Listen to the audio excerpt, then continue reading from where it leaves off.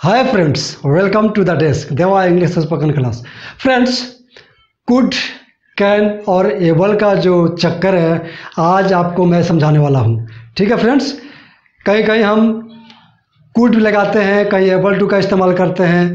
Can could और able to का आपस में क्या संबंध है, आज ये हम आपको बताने वाले हैं। ठीक है friends so let's start the class of the day friends बहुत ही इंटरेस्टिंग क्लास होने वाला है। आप शुरू से अंत तक देखना ज़रूर। अगर आप कुड एबल टू और कैन का कॉन्सेप्ट अच्छी तरह से समझना चाहते हैं तो। फ्रेंड्स अगर हम बोलते हैं कि मुझे दुख है कि कल मैं आपके घर नहीं आ सका तो हम बोल सकते हैं कि I am very sorry that I could not come to your house yesterday अगर हम इसी सेंटेंस को ऐसा बोले कुड की जगह, अगर हम एबल टू लगा कर बोले तो। तो हम बोलेंगे I was not able to come to your house yesterday so I am very sorry okay friends हम दोनों तरीके से ऐसे सेंटेंसेस को बोल सकते हैं बट कुड सिर्फ़ बीते हुए कल के लिए इस्तेमाल नहीं होता है, बल्कि आज के लिए भी इस्तेमाल हो सकता है और आने वाले कल के लिए भी इस्तेमाल हो सकता है। तो उसी कॉन्सेप्ट को आज हम क्लियर करने वाले हैं। ओके फ्रेंड्स जैसे कि कल मैं नहीं आ सका, ठीक है? कल मैं नहीं आ सका। आई कूडेंट कम यस्टरडे अगर हम यस्टरडे बोल देते हैं तो इससे क्लियर हो जाता है कि बीते हुए कल की बात हो रही है, यानी कि पास्ट की बात हो रही है।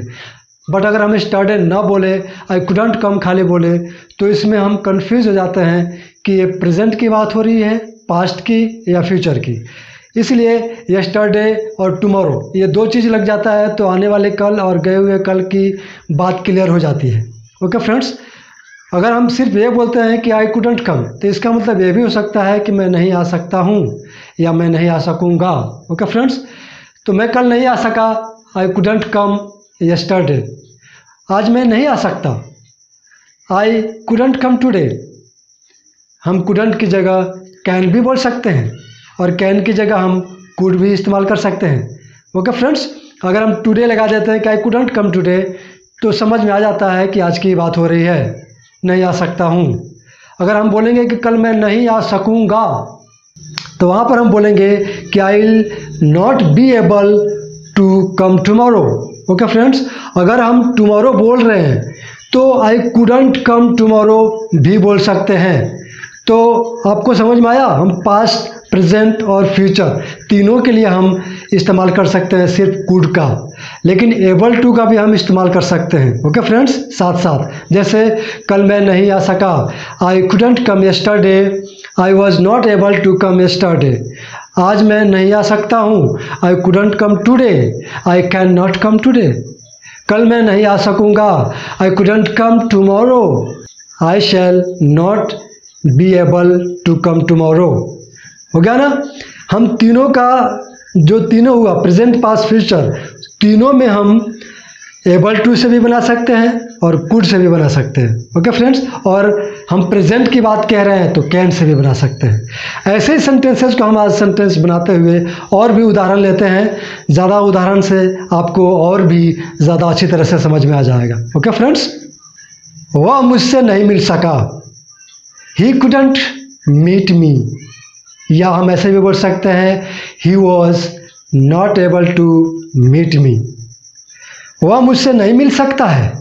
ही कुडंट मीट मी अगर हम सिर्फ़ इतना ही बोलते हैं टुडे टुमारो स्टडी अगर कुछ नहीं बोलते हैं तो वहाँ कन्फ्यूज़न वाली बात हो जाती है कि क्या नहीं मिल सकूँगा, नहीं मिल सका या नहीं मिल सकता।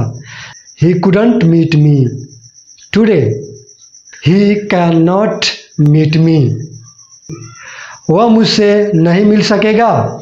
ही कुडंट मीट मी सिर्फ़ इतना ही बोलने से कन्फ्यूज़न रहेगा।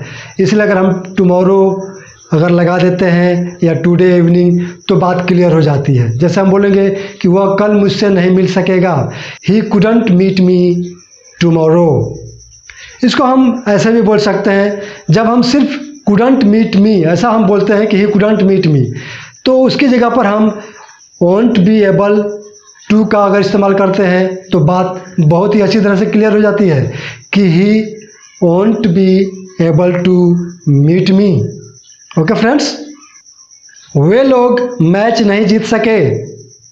They couldn't win the match they weren't able to win the match वे लोग मैच नहीं जीत सकते हैं। They can't win the match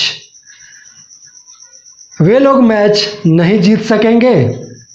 They won't be able to win the match हम वहाँ नहीं जा सके।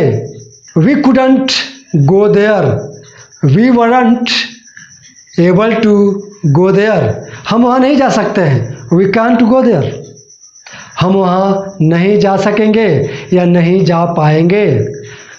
We shan't be able to go there मैं उसे पैसे नहीं दे सका।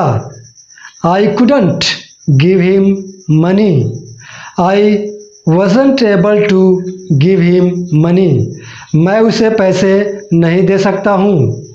I can't give him money मैं उसे पैसे नहीं दे सकूँगा। I couldn't give him money ये भी सही है।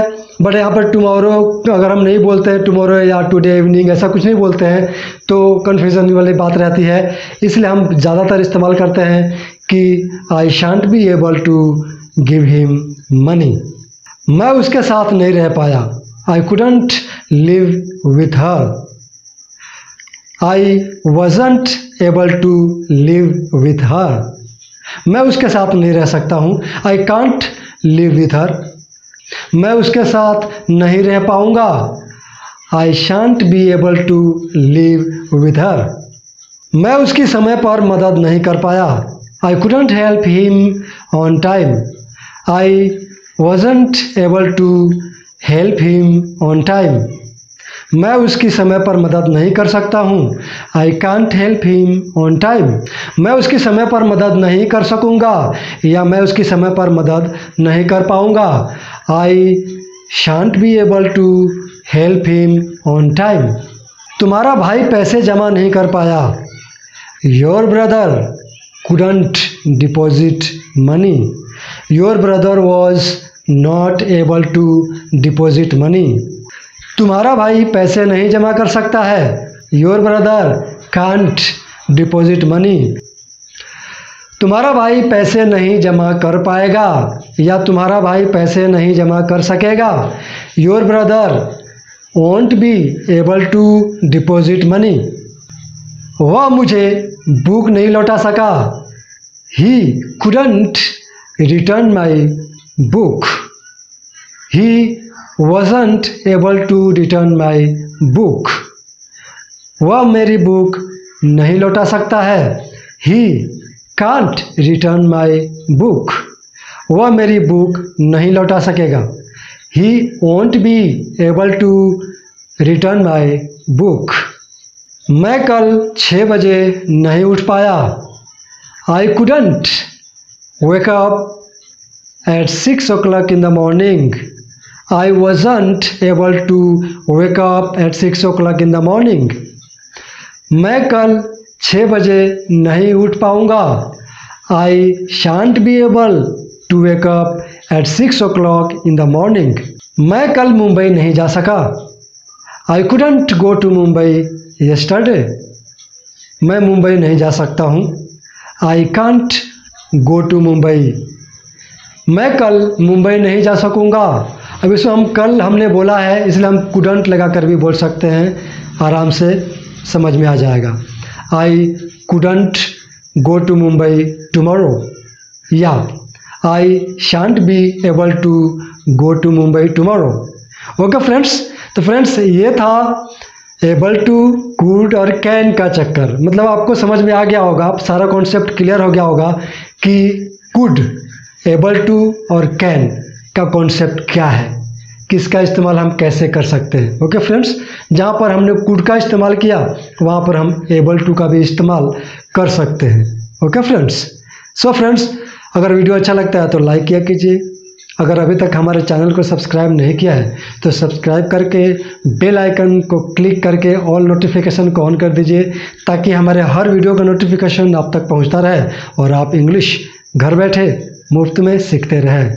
तो अब तक हमारा वीडियो देखने के लिए थैंक्स थैंक्स अलॉट एंड धन्यवाद। अगर आपको इंग्लिश में लिखना पढ़ना नहीं आता है और आप लिखना पढ़ना सीखना चाहते हैं तो आप हमारे चैनल पर जाइए। चैनल के प्लेलिस्ट पर ऊपर प्लेलिस्ट लिखा हुआ होगा, उस पर क्लिक कीजिए। फिर उसके बाद सारे प्लेलिस्ट खुल जाएँगे और ऊपर से जो तीसरे नंबर पर है, जहाँ पर लिखा है इंग्लिश में लिखना पढ़ना सीखे, उस प्लेलिस्ट को क्लिक कीजिए। सारे वीडियोज़ आ जाएँगे। यहाँ पर सात वीडियो हैं। इन सातों वीडियोज़ को देखने के बाद आपको इंग्लिश में लिखना पढ़ना ज़रूर आ जाएगा।